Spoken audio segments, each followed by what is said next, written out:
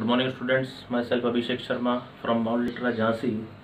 Students, today we are going to continue with 7th chapter of Indian Economic Development of class 12 and today we are going to discuss growth of employment, changing structure and casualization of workforce. 50 years of planned development have always aimed at expansion of economy through increase in national product and employment. During 1960s to 2000, GDP of India grew po- positively and was higher than employment growth. There was always fluctuation in the growth of GDP, but employment grew at a stable rate of 2%. However, in the late 90s, employment growth started declining and reached the level of growth that India has in early stage of planning. During these years, the gap between growth of GDP and employment was widening. This trend was also known as jobless growth. Now, changing structure of employment. We know India is an agrarian nation. A major section of our population lives in rural area and is dependent on agriculture as their main livelihood. The development strategies in many countries, including India, have always aimed at reducing the proportion of people depending on agriculture.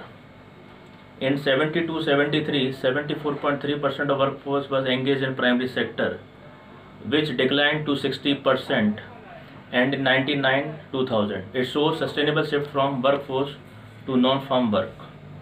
Now the next topic is casualization of workforce. Over the last three decades, 72 to 2000, there has been considerable shift to self-employed and regular salaried employed to casual wage work. The process of moving from self-employment and regular salaried employment to casual wage work is known as casualization of workforce. Self-employment. Although it continues to be the major employment provider, but its shares declined from 61% to 52% in the year 72 to 1919. Regular salaried employment. Its shares stagnant at rate 14%. There is a marginal decrease from 15.4% in 1972 to 14.6% in 1999. Casual worker. Their was share has increased from 23 23.2% in 1972 to 32.8 percent in 99 or 2000 so let us now study the changes in the employment pattern of the people in various sectors and their status over the last 30 years. It will enable us to understand the types of employment generated to our country. Oh, jobless growth refers to the situation when the economy is able to produce more goods and services without a proportionate increase in the employment opportunities.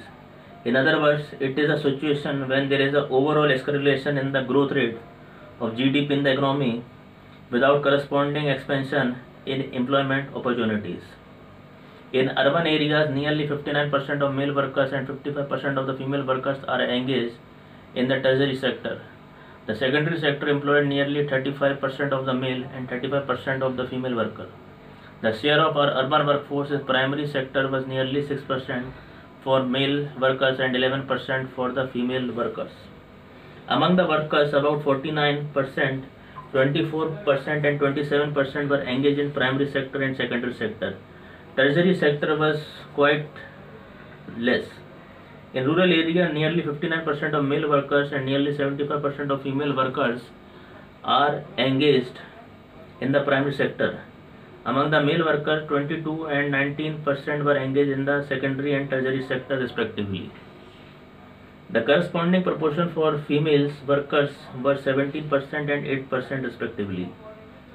Women workers concentrated concentration is also very high in the primary sector more than three-fourths of the female workforce is employed in the primary sector, whereas half of male workers in that sector. It happens because men gets opportunity in both secondary and service sector. Only 11.8% of female workforce are employed in the secondary sector. The service sector gives employment to 13.1% of the female worker. More than half of male population, 53.8%, is concentrated in the primary sector.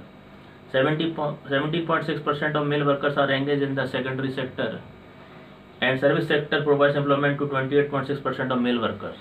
So students, that's all for today's class. Thank you and have a nice day.